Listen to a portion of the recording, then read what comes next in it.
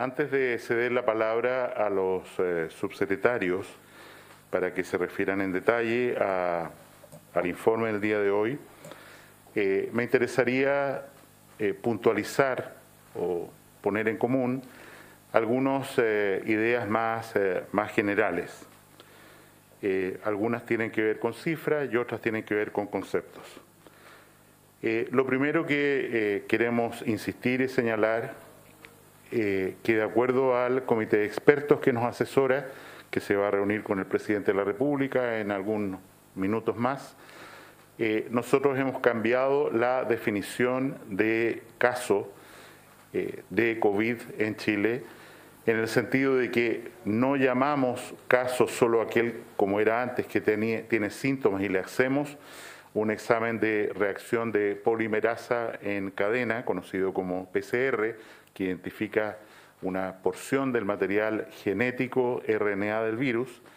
sino que también eh, notificamos todos los días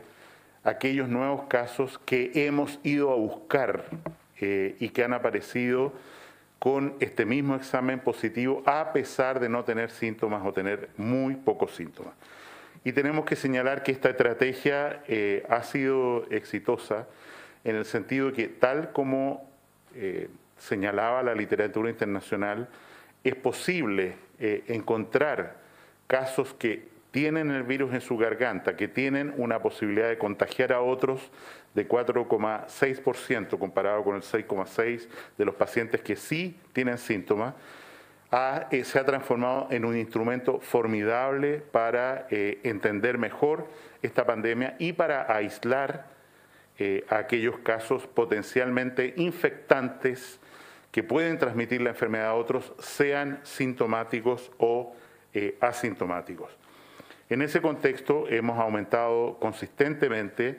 los exámenes